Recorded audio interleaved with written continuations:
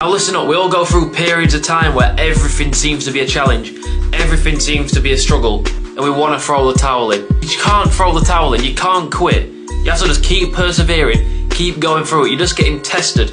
But when you come out on the other side of the test, you're going to be 10 times stronger.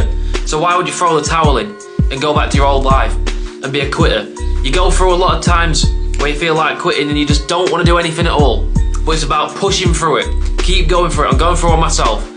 Just keep going through, push through every single day, do the tasks regardless, and the outcome's going to be so much greater than giving in, throwing the towel in and going back to your old life.